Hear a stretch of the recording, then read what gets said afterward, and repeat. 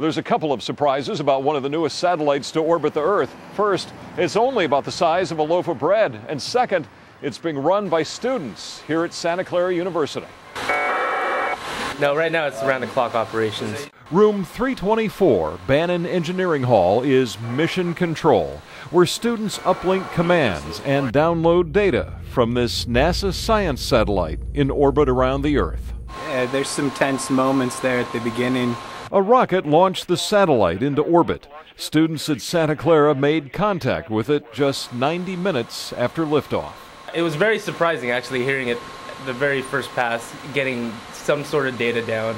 Science experiments on board the satellite, Pharmasat, immediately went to work, and it was critical that the students and the big dish antennas on the roof not miss a single bit of data being sent back to Earth. We were in a situation where I had students on console and yet NASA engineers saying, you know, we want data, we want data.